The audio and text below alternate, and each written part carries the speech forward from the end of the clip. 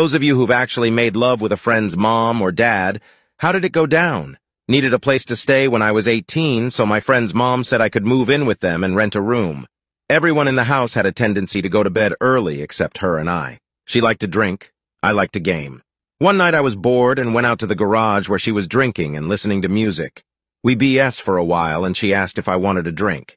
Hell yay, I do. After I had a couple shots of Goldschlager, she started with the, oh, my neck is so stiff. I wish someone would rub it. Being a warm-blooded teen with hormones and booze coursing through my veins, I jumped at the chance. She was 47 and had the body of someone in her early 20s. As I rubbed her shoulders, the strap on her nightgown kept falling down, showing a little more skin. She'd pick it up and let it fall further the next time. Each time, I'd let my hands wander a little. After a few minutes, she commented how wonderful it felt and if I'd do her back. I don't think any blood was making it past my waist, so I agreed without hesitation. We went inside. She faced away from me and pulled her gown down to her waist on laid on her stomach. I rubbed her back for a while, and when I was done, I half-jokingly asked if she needed the front done. She said yes, but only if I'd rub her bazookas. I couldn't get a single word out. I was stunned.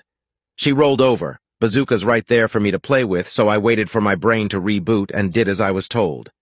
After that massage, things escalated and she ended up riding me on the couch. That was the first time I made love without protection, and I immediately saw what all the fuss was about. It happened a few more times, always started with her asking if I wanted a drink. Eventually, I put an end to it because I got back with my girlfriend and I wasn't going to cheat on her. Once I stopped making love with the mom, she flipped out on me and evicted me. I wasn't able to ever tell my friend what happened while I lived there because Zamina's mom would get nasty when they fought.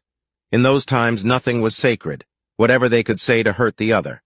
After I moved out, he called me a mother effer one night, and I laughed until I was afraid I'd pass out.